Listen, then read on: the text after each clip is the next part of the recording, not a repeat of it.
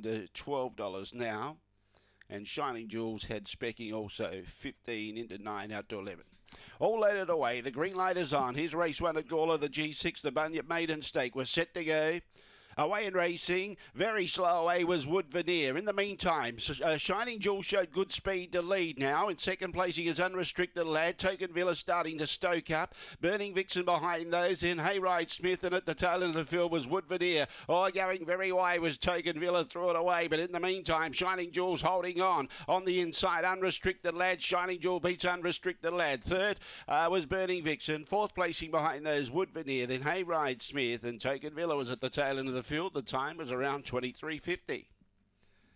23.50 the time. Thought that would be the winning time, and the winner is number seven, Shining Jewel. Seven beats one and two, 23.50